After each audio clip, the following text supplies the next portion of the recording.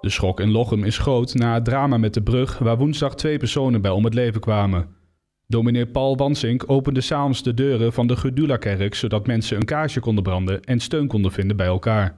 Kijk wie er binnenkomen. Je ziet wel, sommige mensen willen gewoon in stilte eh, een kaarsje branden, klaar. Anderen willen een gesprek.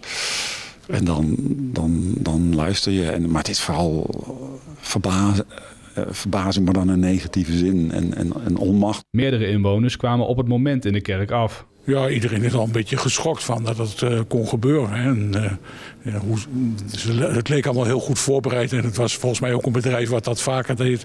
En dan toch zo'n uh, zo'n drama. Dat is wel erg, ja. De schrik enorm.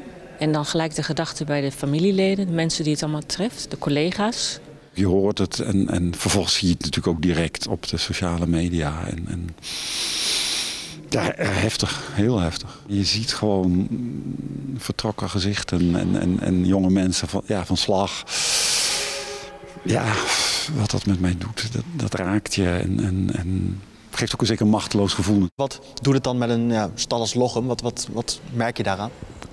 Nou ja, je merkt dat het een kleine gemeenschap is en dat, dat mensen, dit is dichtbij en, en ja, daardoor, ja, dat raak je toch, je, je kunt dat niet veranderen, dat raak je meer dan wanneer het nou ja, in Amsterdam of nog verder weg zou zijn. Het gebeurt dichtbij, dus dan uh, nou, het raakt het ook wel, ja.